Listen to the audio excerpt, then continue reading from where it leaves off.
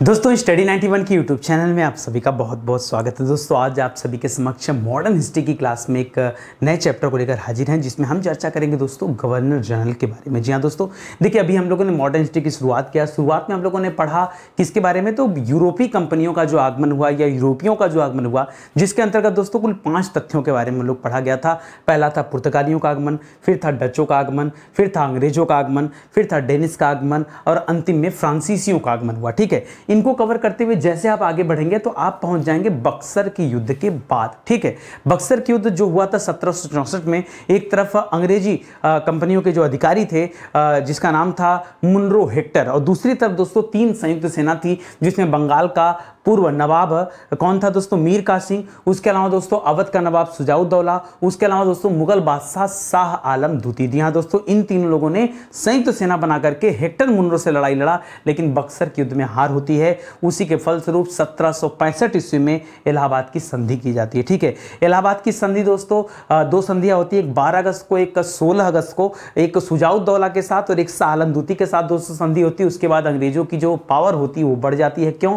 क्योंकि बंगाल, बिहार, उड़ीसा की दीवानी उन्हें मिल जाती है, ठीक है? इस तरह से बहुत कार्य होते हैं और इसको बड़ा निर्णायक युद्ध कहा जाता है, ठीक है? इस दौरान दोस्तों जो मुगल बादशाह रहते हैं, उनको पेंशन देना शुरू कर दिया जाता है और आगे कुछ दिनों तक शासन ऐसे चलता रहता अंतिम में दोस्तों हमने बात किया था कि वापस लॉर्ड क्लाइव पुनः आता और बंगाल में दोस्तों द्वैध शासन लागू होता है। जी हाँ दोस्तों, यहाँ तक हम लोगों ने पढ़ा था। उसके बाद अब बात आती है रेगुलेटिंग एक्ट की। जी हाँ दोस्तों, जो आया था सत्रह सौ तिहत्तर में रेगुलेटिंग एक्ट तो उसके बारे में पढ़ते हुए हम आएँगे, सीधे गवर्नर के बारे में पढ़ेंगे कि गवर्नर क्या थे? गवर्नर जनरल क्या थे?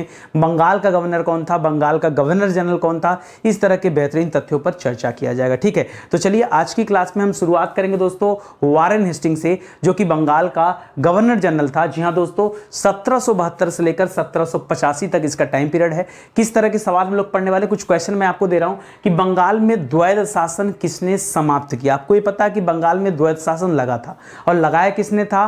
तो लॉर्ड क्लाइव ने लगाया था, लेकिन समाप्त किसने किया? कब किया, ये आपको जानकारी नहीं है, ये आपके लिए बेहतरीन सवाल होगा। कर भारत में किस एक्ट के अंतर्गत सर्वप्रथम सर्वोच्च न्यायालय की स्थापना हुई, जिसे हम सुप्रीम कोर्ट कहते हैं? जी हाँ दोस्तों, जो सुप्रीम कोर्ट आज हम दिल्ली में देख रहे हैं, किसी जमाने में सुप्रीम कोर्ट इस तरह की व्यवस्थाएँ बंगाल में हुआ करती थी। उससे संबंधित तथ्यों को देखा जाएगा। वारन हेस्टिंग गवर्नर जनरल उनकी काउंसिल में कौन से सदस्य रहे? जी हाँ दोस्तों, वारन हेस्टिंग तो गवर्नर जनरल था, लेकिन उसकी जो काउंसिल थी, उसमें कौन कौन से मेंबर थे? उन मेंबर का नाम क्या है? यह परीक्षा में बेशक आ सकता है। भारत का जो पहला समाचार पत्र था, द बंगाल गजट। इसका प्रकाशन कब और किसके द्वारा किया गया? प्रांतीय रेवेन्यू परिषद जो था दोस्तों, उसकी कार्यालय कहाँ कहाँ स्थापित थी, कितने भारत में प्रांतीय रेवेन्यू परिषद स्थापित किए गए थे, इनके बारे में जानकारी किस गवर्नर जनरल पर दोस्तों महाभियोग चलाया गया? जी हाँ दोस्तों, जिस तरह से राष्ट्रपति पर महाभियोग चलाया जाता है, देखिए महाभियोग चला करके उसको उसके पद से हटा दिया जाता है, ठीक है? महाभियोग किस आधार पर चलाया जाता है? तो साबित कदाचार के आधार पर दोस्तों महाभियोग की प्रक्रिया लगाई जाती है और यहाँ गवर्नर जनरल पर महाभियोग की प्रक्रिया लगाई गई थी तो किस गवर्नर जनरल पर लगाई गई थी, ठीक है? इस तरह के कुछ बेहतरीन सवाल हैं। आज हमारा दोस्तों 94 डेज़ है। जी हाँ दोस्तों सीक्वेंस अगर आप क्लास को देखेंगे तो बहुत मज़ा आएगा। एक नंबर से लेकर 45 नंबर तक हम लोगों ने प्राचीन इतिहास की चर्चा किया और 46 से लेकर इक्यानवे नंबर तक दोस्तों मिडावल हिस्ट्री की चर्चा किया। 92 से दोस्तों हम लोगों ने स्टार्ट कर दिया मॉडर्न हिस्ट्री के बारे में पढ़ना और आज हम पहुँच चुके हैं चौरानवे लेक्चर पे, ठीक है? आज का तो सवाल दोस्तों, सत्ताईस से लेकर के अट्ठाईस तक के सवालों पर हम चर्चा करने चल रहे हैं। तो चलिए देखते हैं कि तैयारी कितनी बेहतर हो पाई है। याद रखेगा दोस्तों स्टडी 91 के प्लेटफॉर्म से फाउंडेशन बैच लॉन्च किए गए। ये फाउंडेशन बैच दोस्तों अभी पायलट प्रोजेक्ट के तहत लॉन्च किए गए थे। कुछ लिमिटेड लोगों के लिए थे ले, लेकिन अब इस बैच को पूरी तरह से ओपन कर दिया जा रहा है और बच्चों के लिए ताकि वहाँ पर और भी बच्चे ज्वाइन कर सके ठीक है? तो ये फाउंडेशन बैच दोस्तों अलग अलग विषय के लिए बनाए गए हमारा हेल्पलाइन नंबर है कॉल करके आप संपर्क कर सकते हैं ठीक है? आइए सीधे सवालों पर आते हैं ज़्यादा समय नहीं बिताते हैं ठीक है? ध्यान दीजिएगा चौरानवेवा लेक्चर है। क्वेश्चन नंबर सत्ताईस से लेकर अट्ठाईस तक के सवालों को पढ़ने चल रहे हैं। साथ ही दोस्तों, हम बात करेंगे वारन हेस्टिंग के बारे में और टाइम पीरियड क्या है सत्रह ईस्वी से लेकर के कब तक दोस्तों? सत्रह ईस्वी तक, ठीक है? तो ये पूरा का पूरा कार्यकाल है वारन हेस्टिंग का। इसके बारे में हम लोग पढ़ना शुरू करते हैं। पहला सवाल, क्या लिख रहा है दोस्तों? East India Company. East India Company आते ही आपके मन में एक बात आ रहा होगा, स्थापना दोस्तों ईस्ट इंडिया कंपनी की कब हुई थी? क्या आपको याद है? तो याद रखेगा दोस्तों, पंद्रह ईस्वी में ईस्ट इंडिया कंपनी की स्थापना हुई थी। लेकिन दोस्तों जो महारानी थी जो इंग्लैंड की महारानी थी उनसे दोस्तों पत्र इसको कब मिला था? तो सन 1600 में मिला था, ठीक है? मतलब आधिकारिक रूप से कार्य करने का जो पत्र मिला था, वो कब मिला था? सन 1600 में मिला था, याद रखेगा। और आज हम पहुँच चुके हैं दोस्तों 1700 समथिंग पर, ठीक है? लिख रहा है, ईस्ट इंडिया कंपनी के अधीन बंगाल का गवर्नर जनरल दोस्तों कौन था? जी हाँ दोस्तों, वो भी बंगाल का पहला गवर्नर जनरल। देखिए, शुरुआत में तो बंगाल का गवर्नर बना के भेजा गया, लेकिन जैसे ही रेगुलेटिंग एक्ट आया ना, उसके बाद दोस्तों इसी व्यक्ति को, वारेन हेस्टिंग को ही क्या बना दिया गया? बंगाल का गवर्नर जनरल बना दिया गया। क्या बना दिया गया? Governor general. तो बंगाल का पहला दोस्तों गवर्नर जनरल कौन था? याद रखेंगे। तो हम यहाँ पढ़ेंगे दोस्तों किसके बारे में? वारेन हेस्टिंग्स के बारे में। किसके बारे में? वारेन हेस्टिंग्स के बारे में, जिसका टाइम पीरियड था सन सत्रह से लेकर के सत्रह ईस्वी तक। जी हाँ दोस्तों, इस सवाल को आप याद रखेंगे। ठीक है? बहुत इंपॉर्टेंट सवाल है। अगला सवाल देखिए। भारत में किस एक्ट के तहत सर्वप्रथम सर्वोच्च न्यायालय की स्थापना हुई थी? सुप्रीम कोर्ट की स्थापना दोस्तों किस एक्ट के तहत हुई थी। तो याद रखेगा जब अंग्रेज़ों ने भारत पर कब्जा कर लिया, ठीक है, और उन्हें लगने लगा कि अब हम भारतीयों के ऊपर शासन कर सकते हैं तो उन्होंने भारत को रेगुलेट करने के लिए रेगुलेटिंग एक्ट बनाया। क्या बनाया दोस्तों? याद रखेंगे, यहाँ पर कौन सा आता है? रेग्यू रेग्यूलेटिंग एक्ट आता है। कौन सा आता है दोस्तों? रेगुलेटिंग एक्ट आता है और यह आया था दोस्तों सत्रह ईस्वी में। जी हाँ दोस्तों रेगुलेटिंग एक्ट इसी के तहत दोस्तों भारत में सर्वोच्च न्यायालय का स्थापना किया गया। कहाँ पर दोस्तों? तो याद रखेगा, पश्चिम बंगाल में। कहाँ पर दोस्तों? पश्चिम बंगाल में अंग्रेज़ों ने क्या किया? सर्वोच्च न्यायालय की स्थापना किया, ठीक है? आगे बढ़िए। लिख रहा, बंगाल में द्वैध शासन को समाप्त किसने कर दिया? तो देखिए, बेहतर शासन के लिए किसे भेजा गया था? याद रखेगा, बेहतर शासन के लिए ईस्ट इंडिया कंपनी का गवर्नर जनरल बनाकर के वारेन हेस्टिंग को भेजा गया था। तो वारेन हेस्टिंग का आते ही वारेन हेस्टिंग ने क्या किया दोस्तों? जो यहाँ पर द्वैध शासन चल रहा था, उस द्वैध शासन को क्या कर दिया दोस्तों? समाप्त कर दिया। द्वैध शासन को क्या कर दिया? समाप्त कर दिया। अच्छा बहुत सारे बच्चों के मन में भी होगा कि द्वैध शासन होता क्या है, ठीक है? द्वैध शासन के लिए एक शब्द इस्तेमाल और भी कर सकते हैं हम। याद रखेगा दोहरा शासन दोहरा शासन। देखिए मैं आपको बताऊँ, आप कभी ध्यान से इतिहास को पढ़ेंगे ना तो आपको एक चीज़ समझ में आएगा। दोस्तों, आप आप तो जानते हैं कि पश्चिम बंगाल में इस टाइम पीरियड में, यानी हम अगर बक्सर के युद्ध के बाद की स्थिति देखें तो पश्चिम बंगाल में शासन कौन कर रहा था? अंग्रेज़ शासन कर रहे थे। एक बात बताओ, अगर अंग्रेज़ शासन कर रहे थे तो अंग्रेज़ खुद अपने आप को या फिर अपने किसी व्यक्ति को राजा क्यों नहीं बना देते? ठीक है? कोई अंग्रेज़ राजा क्यों नहीं बन जाता था? उन्होंने क्यों मीर जाफ़र के पुत्र को या फिर उन्हीं के वंशजों को दोस्तों राजा बनाया, अपने राजगद्दी पर क्यों नहीं बैठा? कभी आपके दिमाग में बात आया? कभी ये सवाल क्लिक हुआ आपके दिमाग में कि अंग्रेज़ों ने जहाँ जहाँ भी कब्जा किया कब्जा करने के बाद वो अपना राजा भी तो घोषित कर सकते थे? अपने किसी व्यक्ति को अपने जान पहचान को या अपने किसी अधिकारी को उस राजगद्दी पर बैठा सकते थे? फिर क्यों उन्होंने भारतीयों को ही राजा रहने दिया? ठीक है? देखिए कारण था। हो, होना क्या था दोस्तों कि अंग्रेज़ यहाँ आए थे व्यापार करने। व्यापार करते करते उन्हें लगने लगा कि अब हम यहाँ पर क्या कर सकते हैं, शासन कर सकते हैं। लेकिन उन्होंने एक बड़ी गलती नहीं की। उन्होंने क्या नहीं किया? उन्होंने खुद अपने आप को राजा नहीं घोषित किया। अगर उन्होंने खुद को राजा घोषित किया होता तो जो यहाँ की आम जनता है, वो शायद उन्हें राजा न स्वीकारती और उनका साथ नहीं देती। इसीलिए उन्होंने क्या किया? अपने आप को अलग रखा और राजगद्दी को अलग रखा। राजगद्दी पर भारतीयों को बिठा के रखा और उन भारतीयों को अपने कंट्रोल में कर लिया, अपने नियंत्रण में लिया। क्या हम राजा को नियंत्रण में लें और राजा क्या करेगा? अपने प्रजा को नियंत्रण में ले लेगा। इस तरह से शासन करना आसान हो जाएगा। और यही था दोस्तों दोहरा शासन, ठीक है?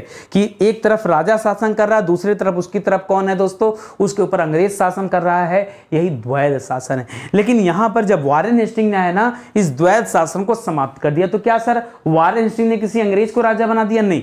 उसने अंग्रेज़ को राजा नहीं बनाया, लेकिन यहाँ पर जो नियंत्रण अंग्रेज़ों का इसके पहले राजा के ऊपर होता था, उसके कई गुना नियंत्रण बढ़ा दिए गए। यहाँ राजा नाम मात्र का हो गया, कठपुतली राजा हो गया। उसका एक पेंशन फिक्स कर दिया गया कि आपको इतना पेंशन मिलेगा, उससे ज़्यादा आपको पेंशन नहीं मिलेगा। बत्तीस लाख रुपया दोस्तों पेंशन तय हुआ था, जो कि आगे चल के वारन हेस्टिंग क्या करता है, इस पेंशन को और ज़्यादा कम कर देता है, सोलह लाख कर देता है आधा कर देता है।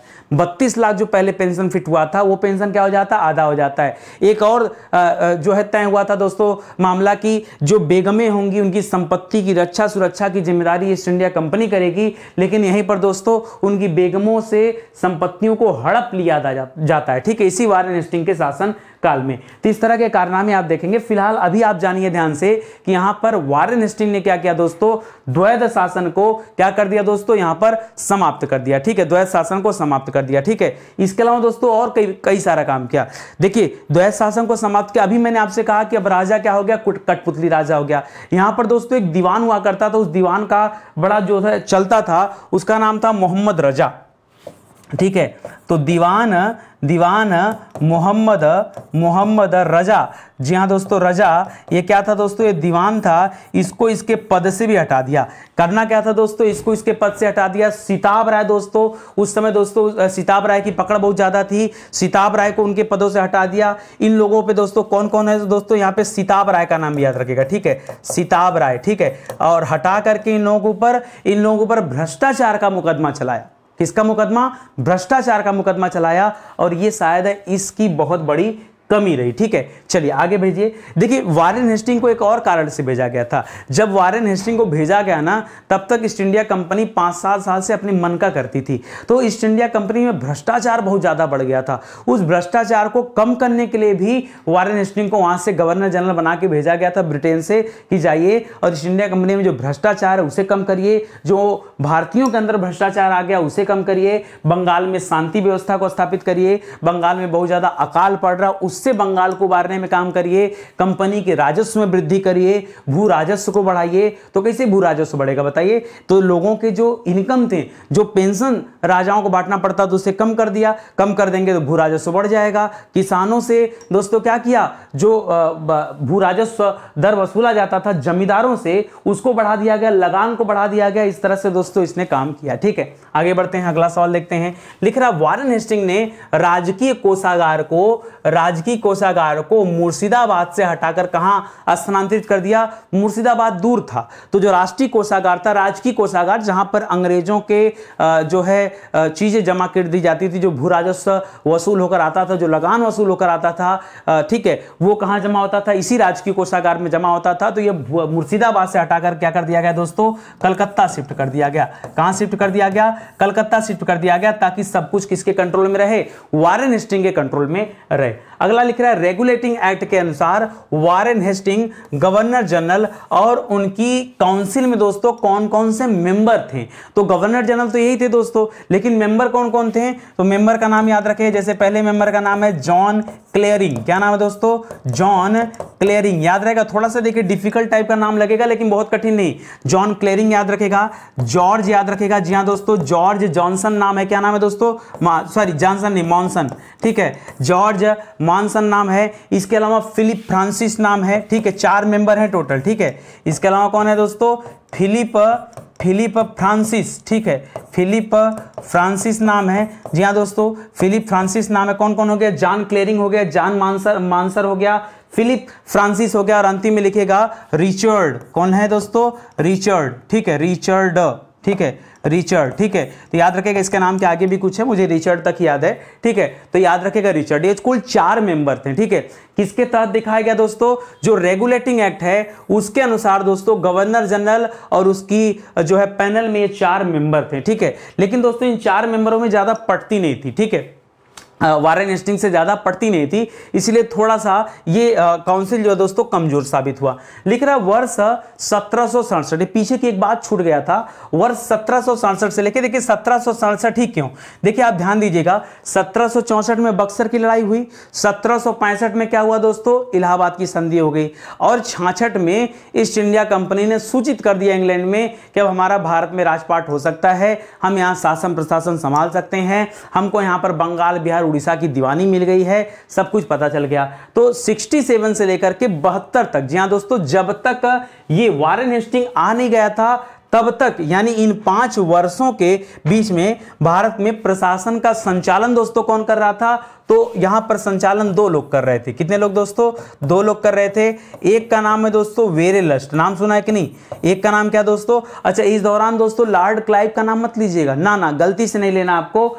67 से लेके बहत्तर के बीच में वेरे लस्ट और कर्टियर जी दोस्तों कर्टियर ये दो लोग दोस्तों शासन व्यवस्था देख रहे थे, ठीक है? और जब ये दो लोग हटते हैं, और कब हटते दोस्तों? जब रेगुलेटिंग एक्ट आता है, उसके ठीक पहले वारन हिस्टिंग को भेजा जाता है, उसके बाद रेगुलेटिंग एक्ट आता है, ठीक है? तो बहत्तर में जब वारन हिस्टिंग आ जाता, तब इन लोग यहाँ से हटते हैं, जो प्रशासन का संचालन कर रहे थे। क्यों? क्योंकि इन लोगों के प्रशासन के संचालन में उतनी मजबूती नहीं थी इन्हीं लोगों के दौरान दोस्तों, ईस्ट इंडिया कंपनी में भ्रष्टाचार भी बढ़ गया था। उसके जो कर्मचारी थे, वो बाहरी लोगों से घूस खाना शुरू कर दिए थे। और तभी तो वारन हेस्टिंग ने आकर के कर्मचारियों को केवल और केवल दोस्तों, जो उनके वेतन थे, उतने पर सीमित कर दिया। बाहर से गिफ्ट लेने पर भी प्रतिबंध लगा दिया। कि आप बाहरी व्यक्तियों से कुछ भी रिसीव नहीं कर सकते? किसी भी तरह की कोई भी सामग्री रिसीव नहीं कर सकते हैं, क्योंकि उससे भ्रष्टाचार को क्या मिलता है? बढ़ावा मिलता है, ठीक है? चलिए आगे बढ़ते हैं। लिख रहा है, मुस्लिम शिक्षा के विकास के लिए, जी हाँ दोस्तों, किसके विकास के लिए? मुस्लिम शिक्षा के विकास के लिए वारेन हेस्टिंग के समय प्रथम मदरसा दोस्तों कहाँ स्थापित किया गया? जी हाँ दोस्तों, ये पहला मदरसा दोस्तों सत्रह ईस्वी में कहाँ पे स्थापित किया गया? दोस्तों, याद रखेंगे, कलकत्ता में स्थापित किया गया, जो पहला मदरसा था, ये वारेन हेस्टिंग के समय में दोस्तों स्थापित किया गया था, सत्रह सौ बहत्तर में आए हैं, ठीक है, और इक्यासी में जाकर दोस्तों पहला मदरसा आ रहा है। भारत के पहले समाचार पत्र, द बंगाल गजट। परीक्षा में दोस्तों बहुत पूछता है, ठीक है? कि भारत का पहला समाचार पत्र का नाम क्या है तो क्या बताएँगे दोस्तों? द बंगाल गजट नाम है। इसका प्रकाशन कब किया गया दोस्तों? तो कभी पूछे कब किया गया तो बताएगा सत्रह सौ अस्सी मदरसा बनने के ठीक एक साल पहले। और किसने किया था दोस्तों? तो याद रखेगा जेम्स ऑगस्टस ऑगस्टस हिक्की। क्या नाम है दोस्तों? जेम्स ऑगस्टस हिक्की ने दोस्तों द बंगाल गजट का दोस्तों प्रकाशन किया था, याद रखेंगे, और कब किया था? तो 1780 में किया था। 1780 में बंगाल का गवर्नर जनरल कौन था? तो वारेन हेस्टिंग था, ठीक है? सारी बातों को क्लियर कट तरीके से याद रखेगा। The Asiatic Society of Bengal. दोस्तों the Asiatic Society of Bengal है क्या? तुम्हें बता दो, एक ऐसा स्थान जहाँ बहुत सारी पुस्तकों को अनुवाद किया जाता था, और ये सारी पुस्तकें दोस्तों इसी the Asiatic Society of Bengal में रखी जाती थी। लिख रहा है, इसकी स्थापना कब और किसने किया the Asiatic Society of Bengal की स्थापना। तो याद रखेंगे दोस्तों, इसकी स्थापना हुआ सन सत्रह ईस्वी में। कितने में हुआ है? सन सत्रह ईस्वी में विलियम विलियम जोन्स ने। जी हाँ दोस्तों, विलियम जोन्स ने दोस्तों इसकी स्थापना किया सन सत्रह ईस्वी में the Asiatic Society of Bengal. तीनों क्वेश्चन दोस्तों अपने आप बहुत इंपॉर्टेंट है और परीक्षा में बार बार पूछा जाता है। आगे बढ़िए, लिख रहा वारेन हेस्टिंग के द्वारा राजस्व संबंधित सुधार के लिए। किसके लिए दोस्तों? राजस्व संबंधित सुधार के लिए कौन कौन सा कार्य किया गया? तो बहुत सारा इसने, देखिए यहाँ पर क्या लिखा है, राजस्व संबंधित सुधार के लिए कैसे इनकम बढ़े? तो सबसे जो इसने इंपॉर्टेंट काम किया है, वो क्या किया दोस्तों? सत्रह सौ बहत्तर ईस्वी में, याद रखेगा जो रेवेन्यू डिपार्टमेंट था ना, उसी से संबंधित इसने क्या किया एक प्रांतीय रेवेन्यू डिपार्टमेंट प्रांतीय सॉरी प्रांतीय मत बोलिए, उसको बोलिए, उसका एक स्पेशल नाम है यार बोर्ड ऑफ़ रिवेन्यू क्या नाम है दोस्तों? बोर्ड ऑफ़ रिवेन्यू ठीक है? सीधे सीधे इंपॉर्टेंट चीज़ें बोलते हैं। इसका नाम याद रखेगा बोर्ड ऑफ़ रिवेन्यू पहले उसने बोर्ड ऑफ़ रेवेन्यू का गठन किया। यानी एक ऐसा बोर्ड जिसमें कुछ मेंबर होंगे और ये किस पर काम करेंगे? रिवेन्यू बढ़ाने के ऊपर काम करेंगे कि कैसे रिवेन्यू बढ़े। ठीक है? वही है राजस्व संबंधी सुधार। ठीक है? तो रिवेन्यू बढ़ाने के ऊपर दोस्तों काम किया गया इसकी स्थापना हो गई। और जब दोस्तों इसकी स्थापना कर लिया गया। तब क्या काम हुआ दोस्तों? तो इसके स्थापना करके डिसाइड किया गया इस बोर्ड ने डिसाइड किया कि हम क्या बनाएँगे दोस्तों? छ प्रांतीय छ प्रांतीय रेवेन्यू रेवेन्यू क्या बनाएँगे? परिषद बनाएँगे। रेवेन्यू परिषद बनाया जाएगा, ठीक है? और उन परिषदों की स्थापना भी कर लिया गया? समझ में आ रहा है? सुनिए ध्यान से। वारेन हेस्टिंग ने भू राजस्व संबंधी सुधार के लिए क्या किया? तो उसने जो सबसे इंपॉर्टेंट काम किया है कि सत्रह ईस्वी में क्या बनाया दोस्तों? एक बोर्ड ऑफ़ रेवेन्यू का गठन किया। उस बोर्ड ऑफ़ रेवेन्यू ने डिसाइड किया कि हमें प्रांतीय रेवेन्यू परिषद गठन करना चाहिए और ऐसे में कुल छह प्रांतीय रेवेन्यू परिषद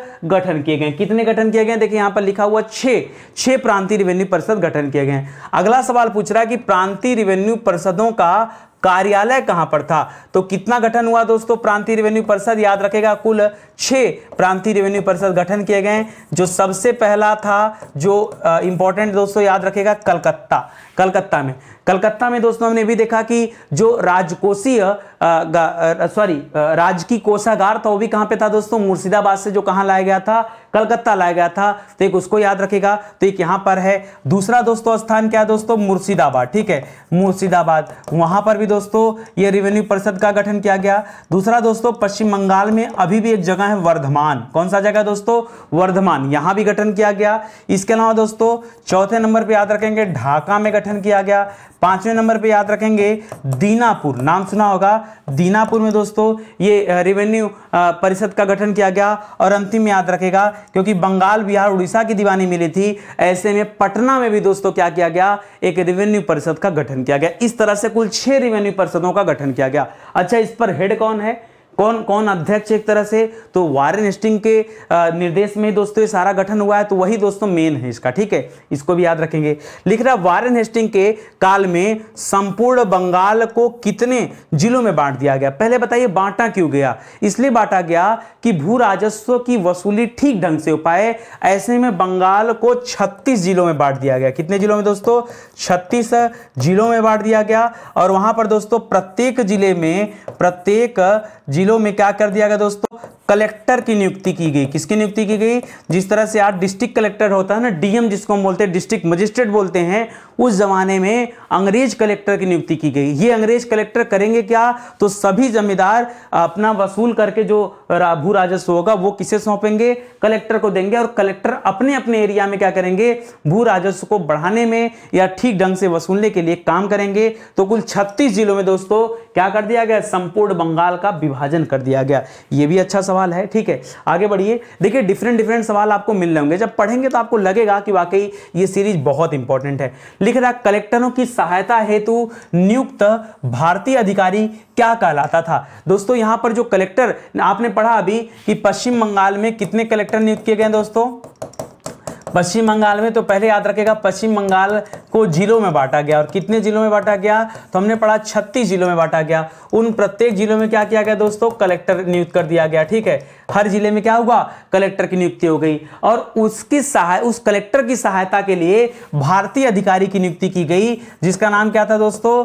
राय, रायन। क्यों नियुक्ति किया गया चाहे भारतीयों की? देखिए, कलेक्टर जो बना दिया गया, उस कलेक्टर को क्या पता कि कौन सा गाँव कहाँ है, वहाँ जाने का रास्ता क्या है, वहाँ के जमींदार कौन है, वहाँ की बोली भाषा, वहाँ के किसानों से कैसे लगान वसूला जाए समय पर। भाई, बातचीत करने के लिए किसी ने किसी को मध्यस्थता करने की आवश्यकता होगी। ऐसे में मध्यस्थता कौन कर सकता है? भारतीय कर सकता है। और उन भारतीयों को नियुक्त किया गया ठीक कलेक्टर के नीचे कलेक्टरों की सहायता के लिए, जिन्हें हम क्या कहते थे? राय रायन कहते थे। क्या कहते थे?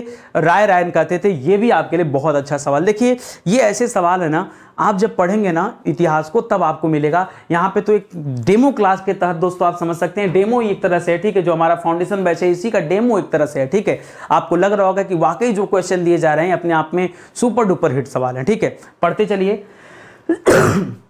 प्रांतीय परिषदों को कब समाप्त कर दिया गया। अरे सर अभी अभी तो आपने बताया था कि यहाँ पर बोर्ड ऑफ़ रिवेन्यू का गठन किया गया सत्रह में। किसका गठन किया गया? Board of Board of Revenue का गठन किया गया। और ये रिवेन्यू का जो गठन किया गया, इसी के तहत दोस्तों, छह प्रांतीय परिषदों का गठन किया गया था, ठीक है? तो सर, इसको समाप्त क्यों कर दिया गया? सब कुछ अच्छा तो चल रहा था कलेक्टर भी बना दिए गए। नहीं, समाप्त तो मैंने कहा ना कि जो पैनल में मेंबर थे, वो ठीक ढंग से काम नहीं करते थे। कुछ समय के लिए दोस्तों, इसको क्या कर दिया गया? समाप्त कर दिया गया। बाद में इसका फिर से क्या कर दिया जाएगा? पुनर्गठन कर दिया जाएगा। तो इसको समाप्त कर दिया गया। कब? आके सत्रह ईस्वी में आते आते दोस्तों, ये बोर्ड ऑफ़ रेवेन्यू जो था इसको समाप्त कर दिया गया। क्यों? क्योंकि दोस्तों, भू राजस्व की जो दर थी दोस्तों, जो वसूली जाती थी भू राजस्व, ठीक है? अब उसमें क्या हो गया था दोस्तों? पुनः परिवर्तन किया जा रहा था। क्या किया जाता? पुनः परिवर्तन किया जा रहा था। इसी वजह से दोस्तों इसमें चेंजेस लाने के लिए इसको क्या कर दिया गया? कैंसिल कर दिया गया। वारेन हेस्टिंग से पूर्व बंगाल की न्याय व्यवस्था किस पर आधारित थी? जब वारेन हेस्टिंग नहीं था यह सवाल ऐसे पूछ दे कि सुप्रीम कोर्ट से पूर्व, क्या पूछ सकता है? सुप्रीम कोर्ट से पूर्व यह भी पूछ सकता है। यह सवाल यह भी पूछ सकता है कि जब बंगाल में गवर्नर जनरल आया, इससे पहले की स्थिति में बंगाल में न्याय व्यवस्था दोस्तों किस पर आधारित थी तो याद रखेगा मुगलों की न्याय व्यवस्था आधारित थी ठीक है? मुगलों की मुगलों की न्याय प्रणाली पर आधारित थी। क्यों? क्योंकि दोस्तों मुगलों का ही शासन रहा ठीक है? या बंगाल के नवाब का शासन था तो उस पर ही दोस्तों आ, क्या हुआ? इनका जो है आ, उस वो व्यवस्था आधारित थी। अच्छा उसमें होता क्या था? इस व्यवस्था में होता क्या था? जो मुगलों वाली व्यवस्था थी तो दोस्तों मुगलों वाली व्यवस्था में होता यह था कि जो जमींदार था ना जो गाँव का जमींदार होता था ये जमींदार इतना पावरफुल होता था कि ये जमींदार ही क्या करता था? दीवानी और फौजदारी, जो दोनों तरह के मामले होते थे, इनको सुलझाने का काम कौन करता था? ये जमींदार किया करता था, ठीक है? जमींदार जमींदार के जमींदार के पास इतना ज़्यादा पावर होता था, ठीक है? जैसे अगर आज हम अपने गाँव की बात कर लें तो गाँव में एक पंच होते हैं। अब तो होते नहीं पंच, पुराने समय में दोस्तों पंच हुआ करते थे, पाँच लोग होते थे। पंच में पाँच लोगों का एक ग्रुप होता था। कोई भी गाँव का मामला हो, ठीक है? मतलब उनके अपने गाँव का मामला, ठीक है? किसी भी परिवार का मामला हो किसी के खेत का मामला हो, किसी के घर के अंदर का मामला हो, तलाक का मामला हो, विवाह का मामला हो, दहेज का मामला हो, किसी तरह का मामला हो तो पंच के समक्ष मामला रखा जाता था और पंच ही उस पर अपना निर्णय देते थे। वहाँ पर दोस्तों कोर्ट कचहरी का झंझट नहीं हुआ करता था। क्यों? आज कोर्ट कचहरी के चक्कर में लोग समय भी बर्बाद करते हैं, पैसे भी बर्बाद करते हैं और लोगों को ठीक तरीके से न्याय भी नहीं मिल पाता, ठीक है? और वो न्याय का क्या मतलब? जो न्याय समय बीत जाने के बाद मिले, बताइए। अगर न्याय किसी को 20 साल बाद मिल रहा है तो उस न्याय का क्या मतलब है? कोई मतलब है न्याय का? तो न्यायपालिका दोस्तों, जो वर्तमान न्यायपालिका है, इसको और भी मज़बूत होना चाहिए। जिस तरह से अभी न्यायिक व्यवस्था है, मुझे लगता है कि कोई मतलब नहीं। तो अभी भी सरकार क्या करे दोस्तों? पुनः उसी जो पुराने समय में इस तरह की चीज़ें चलती थी, उसी समय में दोस्तों, आपने देखा होगा, फिर से एक बार ग्राम न्याय पंचायत की बात हो रही। गाँव लेवल पे दोस्तों न्याय पंचायतें बनाई जा रही कि वहाँ का मामला वहीं सुलझा दिया जाए, ऊपर तक ना आने पाए। जो बड़े मामले हैं, वो ऊपर तक आए। तो दोस्तों, यहाँ पर जमींदारी क्या करता था? चाहे दीवानी का मामला हो, चाहे फौजदारी का मामला हो, खुद निर्णय कर लेता था। तो ऐसे में सुप्रीम कोर्ट बनाने का मतलब क्या निकला? ऐसे में ये जो वारन हेस्टिंग तमाम सुधार कर रहे हैं, उसका क्या मतलब निकला? कोई मतलब निकलेगा? कुछ नहीं निकलेगा। इसी वजह से दोस्तों, यहाँ पर अब जमींदारों की पावर समाप्त की जाएगी। जमींदारों को बताया जाएगा कि तुम्हारा काम खाली और खाली क्या है? लगान को वसूलना है। कुछ समय बाद दोस्तों वारन हेस्टिंग ने पता टेंडर निकाल दिया कि कौन सबसे ज़्यादा लगान वसूल के देगा, उसी को हम जमींदार बनाएँगे। ठीक है? तो लोगों ने बोली लगाना शुरू कर दिया। हम पचास हज़ार देंगे, हम साठ हज़ार देंगे, हम अस्सी हज़ार देंगे। अरे, बोलने के तो बोल दिए, दोगे कैसे? और दोगे इस तरह से चमड़ी उधर लोगे किसानों की मार के, ठीक है? होता भी ऐसा है। लोगों, जब इसने टेंडर निकाला तो लोगों ने बड़ी बड़ी बोलियाँ लगाई और वो पैसा अपने घर से तो भरेंगे नहीं। तो पैसा दोस्तों किसानों से वसूलना शुरू किया और मार मार के वसूलना शुरू किया। ऐसे में आपको क्या लगता है? लगान बढ़ जाएगा कंपनी की आय बढ़ जाएगी? नहीं, कंपनी की आय और घट जाएगी। क्यों? अरे जब उत्पादन होगा ही नहीं कायदे से, जब किसान मेहनत से कुछ उगा ही नहीं पाएगा, कुछ रख ही नहीं पाएगा, कुछ बचत नहीं कर पाएगा तो कैसे खेती होगी? तो लोगों ने खेती करना छोड़ने लगे, लोग खेती से दूर भागने लगे। ऐसे में कंपनी की जो रेवेन्यू बढ़नी चाहिए थी, वो रेवेन्यू क्या हो गई दोस्तों? धीरे धीरे घटने लगी, ठीक है? तो बड़ी कहानियाँ हैं। जब आप विस्तार से पढ़ेंगे तो आपको लगेगा कि कहानियाँ हमको समझ में भी आ रहा है और मज़ा आ रहा है कहानियों को सुन करके, ठीक है? चलिए, ध्यान दीजिएगा स्टडी 91 के प्लेटफॉर्म से बहुत सारी किताबें लॉन्च की गई हैं। एक बार दोस्तों किताबों को परचेज करिए पढ़िए तब आपको खुद लगेगा कि वाकई नितिन सर ने जो कहा वो अपने आप में सही कहा ठीक है? ये हमारा हेल्पलाइन नंबर है किसी तरह की दुविधा हो समस्या हो तो आप कॉल करके आ, समझ सकते हैं कि किस तरह से आप किताबों को प्राप्त किया जाए, ठीक है? चलिए, आगे बढ़ते हैं दोस्तों। अगला सवाल देखते हैं। बहुत ध्यान से पढ़िएगा सवाल। सवाल क्या दे रहा है? बहुत इतमान से और ध्यान से उत्तर देखिएगा, ठीक है? लिखे रहा, वारन हेस्टिंग या हेस्टिंग लिख दिया, वारन हेस्टिंग हो या हेस्टिंग हो, कोई दिक्कत नहीं है, ठीक है? हेस्टिंग ने जमींदारों के न्यायिक अधिकारों को कब समाप्त कर दिया? अभी आपको मैंने बताया बहुत इतमान से कि जमींदारों का अधिकार उस समय क्या था? ये दीवानी और फौजदारी दोनों तरह के मामलों पर अपना निर्णय दिया करते थे। फौजदारी, ठीक है? दोनों तरह के मामलों पर निर्णय देने का काम किसका था दोस्तों? ये निर्णय ये जमींदार दिया करते थे। इसीलिए वारन हेस्टिंग को लगा कि जब तक जमींदारों का पावर समाप्त नहीं करेंगे, तब तक लोग अंग्रेज़ों के बारे में सोच नहीं पाएँगे। अंग्रेज़ नीतियों के बारे में नहीं सोच पाएँगे। इसीलिए जमींदारों के न्यायिक अधिकारों को पहले समाप्त कर दिया गया और यह समाप्त कब किया गया दोस्तों? याद रखेगा, सत्रह ईस्वी में ही। शुरुआत में दोस्तों, सत्रह ईस्वी में ही जब रेगुलेटिंग एक्ट आया ना, उसके ठीक पहले सारी व्यवस्थाएँ सही कर दिया गया था। तो ये समाप्त किया गया और जितने ज़िले थे प्रत्येक जिलों में जिलों में क्या किया गया है दोस्तों? यहाँ पर फौजदारी फौजदारी और दीवानी। जी हाँ दोस्तों, फौजदारी और दीवानी न्यायालयों की दोस्तों स्थापना किया गया। और यह कहा गया कि अब जमींदारों से आप अपने न्याय की मांग नहीं करेंगे। आप अपने न्याय की मांग कहाँ से करेंगे? इस फौजदारी और दीवानी न्यायालय से करेंगे। ठीक है? इसके ऊपर दोस्तों सबसे बड़ा वाला जो न्यायालय था, वो सर्वोच्च न्यायालय था, वो बाद में आएगा।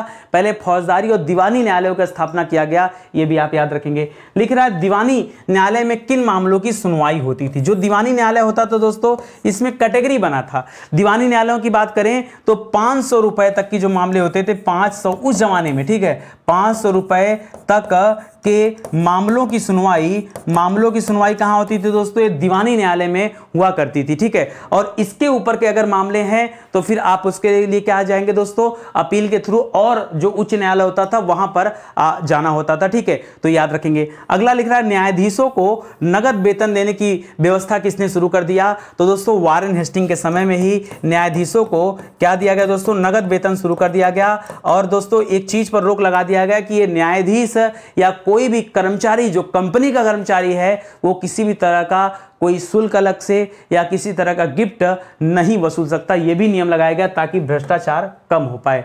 लिख रहा आरक्षी विभाग। आजकल दोस्तों कभी कभी आप देखते होंगे, हम आरक्षी किसे कहते हैं दोस्तों? आरक्षी कहते हैं पुलिस को। किसे कहते हैं दोस्तों? आप कहते हैं आरक्षी की वैकेंसी आई है, ठीक है? पुलिस की वैकेंसी आई, ठीक है? तो याद रखेगा, इस पुलिस विभाग या आरक्षी विभाग पहले भी था, लेकिन इसका पुनर्गठन दोस्तों किसने किया? तो वारन हेस्टिंग ने क्या कर दिया? इसका पुनर्गठन किया।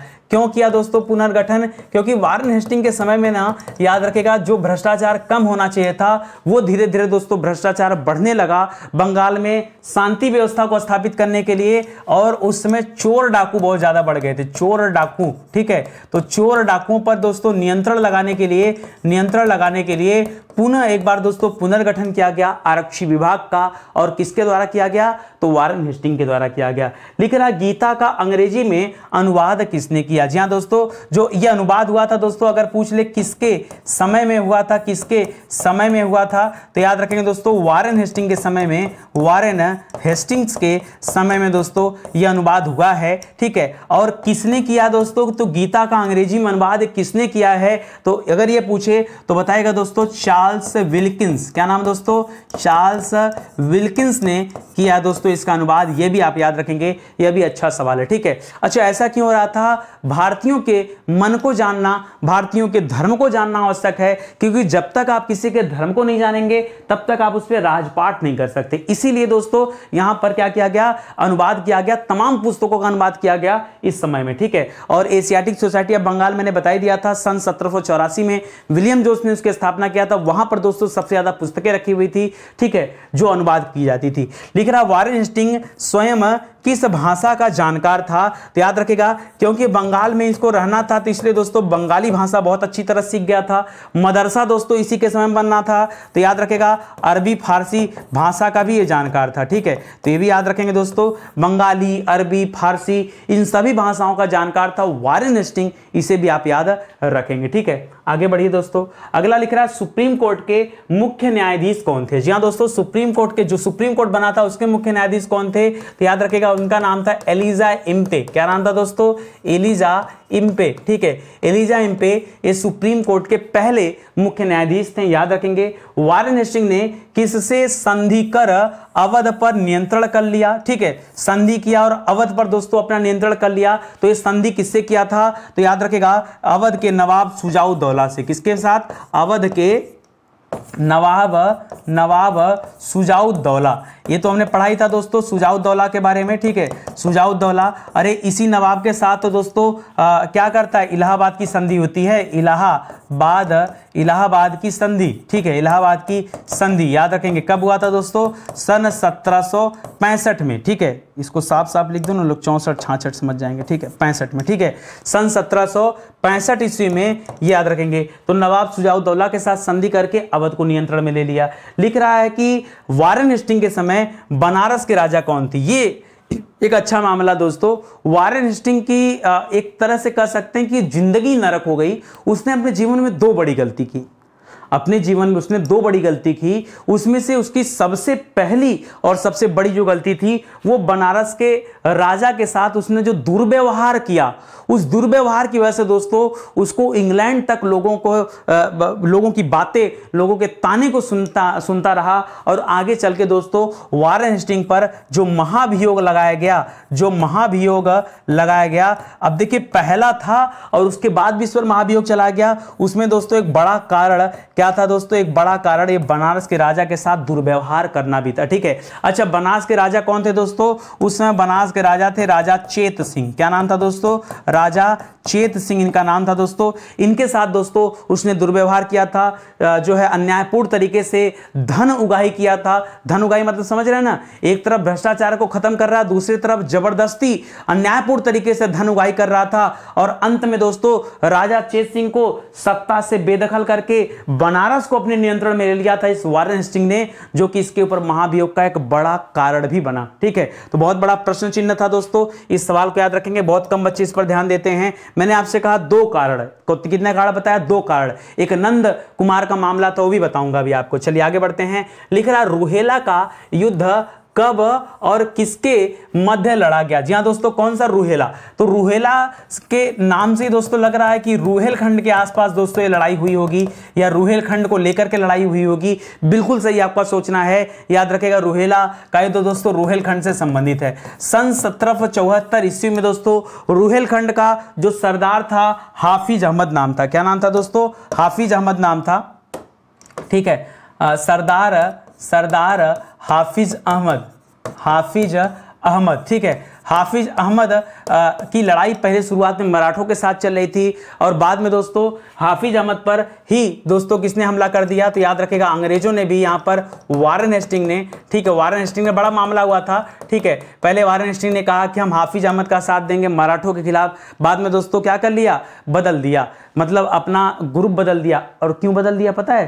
क्योंकि दोस्तों, मराठों ने वारन हेस्टिंग को लंबी चौड़ी मुद्रा दी थी। लगभग 50 लाख के आसपास दोस्तों दिया था, ठीक है? और तब वारन हेस्टिंग ने कहा पैसा मामला रखता है, ठीक है? मायने रखता है। छोड़ो, सरदार हाफिज का साथ छोड़ो, मराठों के साथ जुड़ जाओ और इसको हरा दिया, ठीक है? तो इस तरह से धोखेबाज हुआ करते थे अंग्रेज़। वादा किया था, इसके साथ लड़ाई करेंगे, लेकिन पैसा पाते अपनी टीम बदल दिया वारन हेस्टिंग ने। चलिए आगे बढ़ते हैं। लिख रहा है, अब देखिए, आप चाहेंगे बहुत डिटेल से पढ़ना ना तो इसलिए मैं कह रहा हूँ फाउंडेशन बैच में वहाँ विस्तार से चर्चा होगा।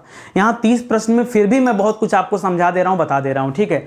लिख रहा है, कौन सी संधि सन सत्रह में सिंधिया के मध्यस्थता, मध्यस्थ मध्यस्थता होता है दोस्तों। सिंधिया के मध्यस्थता से हुई दोस्तों। सिंधिया के बारे में पढ़ाई होगा दोस्तों। सत्रह में सिंधिया के मध्यस्थता में दोस्तों सालबाई की संधि हुई थी। कौन सी संधि हुई थी? सालबाई की संधि। दोस्तों, आप मराठों वाला इतिहास जाके पढ़ लीजिए। वहाँ सालबाई की संधि मैंने आपको पढ़ाया है। वो सिंधिया की मध्यस्थता से कंप्लीट हुई थी। वो याद रखेगा इसी के काल में हुआ था, वारन हेस्टिंग के समय में। लिख रहा किस अधिनियम के विरोध में वारन हेस्टिंग ने अपना इस्तीफा दे दिया? तो दोस्तों, आगे एक आता है, पिट्स इंडिया एक्ट। क्या आता है दोस्तों? पिट्स इंडिया एक्ट आता है। कहा जाता है दोस्तों, जो पिट्स इंडिया एक्ट आया, उसके, उसे लाने के पीछे एक ही रीजन था कि रेगुलेटिंग एक्ट में जो कुछ कमियाँ हैं, उसे दूर करने के लिए ये पिट्स इंडिया एक्ट आया था। कब आया था दोस्तों? तो सत्रह सौ चौरासी में आया था। लेकिन दोस्तों, यहाँ पर याद रखेंगे, ये वारन हेस्टिंग क्या कर रहा था दोस्तों? इस अधिनियम का विरोध कर रहा था और उसी के वजह से वारन हेस्टिंग ने क्या कर दिया दोस्तों? अपना इस्तीफा दे दिया, ठीक है? और आगे आइए, लिख रहा वारन हेस्टिंग के बाद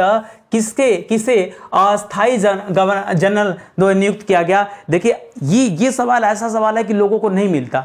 लोगों को ये नहीं पता कि वारन हेस्टिंग ने अपना इस्तीफा भी दे दिया। लोगों को ये नहीं पता कि वारन हेस्टिंग पर महाभियोग भी चलाया गया। लेकिन चलिए अस्थाई जनरल दोस्तों किसे बनाया गया? तो याद रखेगा जॉन मैक्स मैकफरसन को। किसे बनाया गया दोस्तों? सर सर लगता था इन लोगों के नाम के आगे। ठीक है इंपॉर्टेंट लोग थे। तो याद रखेगा sir John Macpherson Macpherson. जी हाँ दोस्तों, सर जॉन मैकफरसन, ये देखिए अस्थाई गवर्नर जनरल है। ये बंगाल का अस्थाई गवर्नर जनरल टेम्परेरी रूप से इसे भेजा गया था, क्योंकि तुरंत एक नया गवर्नर जनरल भेजना जो है बहुत बड़ी बात थी, और बाद में भेजा जाएगा। अब इसके बाद दोस्तों, लॉर्ड कार्नवालिस को भेजा जाएगा। किसे भेजा जाएगा? लॉर्ड कार्नवालिस को, ठीक है? लिख रहा किस गवर्नर जनरल पर महाभियोग की कार्रवाई चलाई गई। तो याद रखेगा, सप्तवर्षीय, सप्त, सप्तवर्षीय, सात वर्ष के लिए दोस्तों ये महाभियोग चला था वारेन हेस्टिंग के ऊपर। किसके ऊपर लगा था दोस्तों? वारेन हेस्टिंग्स के ऊपर दोस्तों। याद रखेगा, सात साल तक का दोस्तों ये महाभियोग चला था, इसे याद रखेगा। और मैंने आपसे भी बताया कि किस मामले पर दोस्तों? तो दो बड़े मामले यहाँ पर आते हैं। पहला दोस्तों याद रखेगा, बनारस के राजा। बनारस के राजा राजा चेत सिंह का मामला। चेत सिंह का मामला, जी हाँ दोस्तों, एक तो ये मामला था, ठीक है। दूसरा याद रखेगा नंद कुमार का मामला, ठीक है। नंद कुमार नंद कुमार मामला। ये नंद कुमार मामला क्या था दोस्तों? नंद कुमार एक व्यक्ति था जो अंग्रेज़ों का सागिर्द था। मतलब अंग्रेज़ों के प्रति बहुत ईमानदार व्यक्ति था, लेकिन इसी के साथ घात हुआ और अंग्रेज़ों ने ये इलेजा इम्पे जो थे सुप्रीम कोर्ट के मुख्य न्यायाधीश, वो और ये जो गवर्नर जनरल था वारेन स्टिंग इन्हीं दो लोगों के बीच में दोस्तों थोड़ी बहस चली और उसमें बेचारा पिस कौन जाता है? नंद कुमार पिस जाता है और ये नंद कुमार पीसने के बाद दोस्तों वारेन हेस्टिंग ने इसे क्या कर दिया दोस्तों? फांसी दे दिया, ठीक है? और इसीलिए दोस्तों कहा गया कि नंद कुमार के मुकदमे और फांसी की सजा को किसने न्यायिक भूल कहा? ठीक है, और उसी वजह से दोस्तों, इसके ऊपर एक काला धब्बा लगा। ये नंद कुमार का मामला ना हुआ होता तो वारन हेस्टिंग का पीरियड कुल मिला जुला के ठीक ठाक पीरियड रहा। लेकिन नंद कुमार का मामला और चेत सिंह के मामले ने वारन हेस्टिंग के जीवन भर पर एक काला धब्बा बना दिया था। खैर, जो अगला सवाल पूछ रहा है, उसका जवाब आपको देना कि नंद कुमार के मुकदमे और फांसी की सजा को किसने न्यायिक भूल कहा? तो याद रखेगा इनका नाम था पीई रॉबर्ट्स क्या नाम है दोस्तों? पीई रॉबर्ट्स इस तरह के सवाल भी आते रहते हैं दोस्तों रॉबर्ट्स ठीक है? रॉबर्ट्स, ठीक है? तो याद रखेगा यह भी आपके लिए अच्छा सवाल है, ठीक है? तो इस तरह के सवाल आपको ध्यान रखना है और काफ़ी विस्तार से चर्चा हो गया। देखिए, जब थोड़ी सी अच्छी क्लास हो जाती है तो कुछ ना कुछ समय तो देना पड़ेगा, ठीक है? स्टडी 91 के प्लेटफॉर्म से कई सारी किताबें आई हैं तो किताबें के साथ साथ दोस्तों हमारे ई बुक भी आ गए हैं, ठीक है? ये ई बुक है दोस्तों, जिन्हें आप खुद से प्रिंट आउट करा सकते हैं और हमारे हैंड नोट्स हैं, जिन्हें आप परचेज कर सकते हैं। तो कोर्सेज भी एक से एक आ चुके हैं, किताबें भी एक से एक आ चुकी हैं नोटबुक भी आ चुका है। तो एक मौका दीजिए स्टडी 91 को, जुड़िए स्टडी 91 के साथ और अपनी तैयारी को आगे बढ़ाइए, ठीक है? चलिए, आज की क्लास ही समाप्त होती है। मिलते हैं दोस्तों अगले लेक्चर में। तब तक के लिए आप सभी का बहुत बहुत धन्यवाद। जय हिंद, जय Bharat. Thank you thank you so much.